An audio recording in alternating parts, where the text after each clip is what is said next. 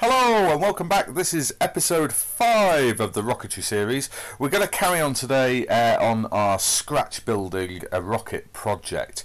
So, if you've watched episode 4, hopefully you've uh, got enough kind of uh, uh info from that to uh, cut your two tubes to length um, so you can make the parts for the uh, upper payload section and the lower booster section. Um, I just wanted to have a chat through in this this episode about how uh, my approach for fins um, and the approaches for the tube coupler and the nose cone. So fins. Uh, the fins for this, I, I'm going to make them out of um, 3 mil um, plywood because I've got a stock of nice sort of uh, small sheets of. It's actually laser cutting ply, but it CNCs really well with low lots in it, and it's a nice quality plywood. So I'm, I'm going to make them out of plywood. Now, I'm going to use my CNC uh, machine, but the thing is, is that with this type of, particularly this type of fin, it's not too complex that you could actually just take the details out of um, the the dialog box for the fins, and you could probably just draw them up on a piece of plywood and use a saw to to cut them out and you know sand the edges and, and uh, get them get them pretty accurate that way. Um, certainly because you know they're a simple kind of uh, trapezoid. Obviously, I'm lazy and it's easier for me to use the uh, CNC machine. So for the CNC machine machine, I um, need a vector file or a vector drawing to uh, make the sort of tool paths from. So this isn't going to be a CNC tutorial particularly, but if you have access to a CNC machine or indeed a laser cutter is excellent for this, you'll need some kind of vector image of those. So handily, OpenRocket has this option. If you go to File, Print slash Export PDF and click that, this actually um, uh, it gives you this checklist uh, of stuff that it's going to kind of put into it, chuck into a PDF for you. Let's just actually preview and print the whole thing. So you can see what it gives you is it gives you, and this is quite nice if you want to kind of print off and keep records of your rockets. Um, uh, you've got a, the plan view. Um, you've got the all your uh, uh, sort of motor options, and then this is quite nice, quite handy if you're trying to remember the dimension of something when you're cutting a tube. Um, it's got all the kind of part details of all the different things you've added and the sort of key uh, stuff about them. This is interesting. This is a uh, fin template. No, it's not a fin template. It's a fill. What do you call these? A fin position template, I'm going to call it. There's a better word for them than that. But basically, if you print this to scale uh, and cut it out, and then wrap it around your uh, body tube and overlap it so that these uh, little areas here overlap, it, you can mark accurately where your fins will go and they'll be set equidistantly around the uh, tube. There are other ways to do that and we'll cover that in a later video. But this last uh, page is probably what we're more interested in. This is a drawing of the, uh, the fin and these are drawings of the centering rings. So of course if you've got um, something like Inkscape you can open this PDF in there and you can edit all the rest out. You can get three of these uh, copied out the three fins and three uh, two the two centering rings and then you could use whatever you do when you use your if you've got access to a CNC or a laser cutter. You know laser cutter might be changing the uh, the colors of the uh, cut lines and things. Um, yeah so it's really useful for that.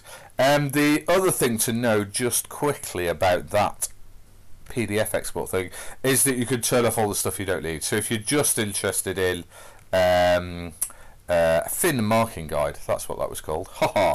um, yeah, if you're just interested in like the fin uh, templates and the centering ring templates, you can just get them to save those out as a PDF. So hopefully that gives you a start of some ideas. Oh, and I've got an alternate idea of how you can make centering rings um, by hand with this funky little tool, which I will uh, show later in the video. Okay, so for the tube coupler, couple of options here. One is um, that you make it out of cardboard. If you have some leftover cardboard tube, you could do a thing where you slice the tube, slightly kind of squeeze it and re-roll it to make it slightly smaller, and then re-glue it to make a coupler. And we'll do uh, either a bit on that in this video or on a later video. Um, but what, what I'm going to do is I'm going to use, I've used my 3D printer reasonably successfully to uh, print tube couplers for rockets And the same for the nose cone. I'm going to use a 3D printer because um, that's a really uh, kind of you know an obvious use for a 3D printer. There are again there are ways. I don't particularly do this. You could carve or turn um, uh, a nose cone out of a piece of balsa, but I'm going to use the 3D printers that I have. So for these, all you need to do really is um, make a note of the dimensions, but um, uh, uh, uh, that, that you uh, want for them. Um, this I'll show you now. Well, in fact, I've got a little um, bit of a little bit of a sketch for a piece of software called OpenSCAD, which is a free um, 3D modeling uh, software.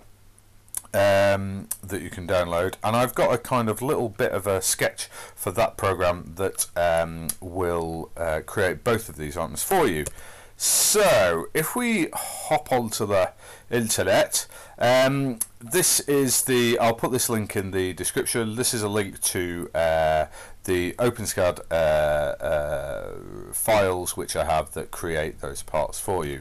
Um, if you Google OpenSCAD, I'll find your way to uh, openscad.org. Um, it tells you a little bit about it and you can download and install OpenSCAD. It has got installs for macOS Windows and all beautiful flavours of Linux which I urge you all to use. So yeah, um, then come back to my uh, GitHub. Um, click uh, the clone or download and click download zip. And there we go. You, it should download quite quickly because it's pretty small. Click on it to open the zip open the file and then we've got um, there's a couple of files here. This is for transitions which we haven't talked about yet. That's where if you want your rocket body tube diameter to change from a thicker section to a thinner section or vice versa. Um, so there's a little sketch that helps you build those. But this is the one we want. Double click on this and it should open it in OpenSCAD. Uh, we'll zoom out on those and you should see there this is like the sort of preview render where it kind of leaves a few artifacts in but um, we've got a, a tube coupler and we've got a nose cone so over here, don't be scared of all this code. It's quite simple. If I can do it, absolutely anybody can do it. So basically, all you would really need to change, unless you want to get into this, is uh, some of these parameters over here. So hopefully I've commented everything quite well. So the first one here is we've got the nose cone length. So this is all in millimeters, as it says up here. So if you want it shorter or longer, uh, change that number. Uh, the shoulder length, that's the, uh, if you recall, that's the um, the length of uh, nose cone uh, shoulder that goes is the bit that goes inside the body tube. Uh, the coupler radius. Um, interesting because I tend to measure things in diameters. What I do is I just put in the diameter divided by two um, as the parameter there. You could, of course, like, you know, that's quite an easy one. I don't know why I did that. You could put 25.5, would quite be quite simple to do. Uh, but sometimes, um, because I'm going back between tubes and, and nose cones, I quite often just stick in the, the diameter and then uh, put divide it by two. So yeah, the coupler radius uh, deals with two things. It deals with the thickness of the shoulder, uh, the width of the shoulder, sorry, um, and also it gives sets the outside diameter of the coupler because both those things are things that sliding fit inside the uh, body tubes. Uh, the body external radius, that sets the width of the bottom of the cone because you want that to match the outside radius of the uh, body tube. And then the coupler length, quite simply. So actually, I think uh, for our rocket, I'm going to aim for a... Um, a 70 millimeter coupler there. So uh, you change that item there, and actually a quick shortcut for the preview render is to hit F5 there we go, we can see that the coupler uh, increased in length. And then um, what you do in OpenSCAD is you hit, I won't do this, you hit F6 and that does a full render, which because of my aging computer would take uh, a couple of minutes to do. And then you click this button here, the STL, um, which exports an STL model of these two things um, as they would appear on a build plate of your 3D printer. Um, I'm not going to go into how we 3D print, but then obviously you'd open that STL in your slicing software or the slicing software that your makerspace that has the 3D printer um, uses and uh, do your settings and uh, print these items.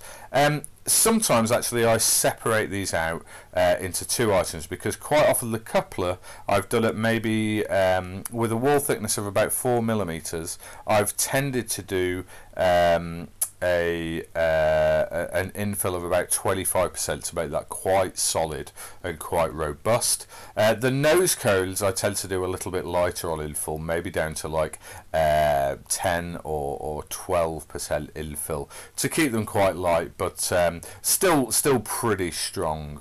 So yeah. Um, that's that, I think. I'll probably uh, cut now to uh, showing you some of the printed parts on my cut tubes. Okay, thank you very much.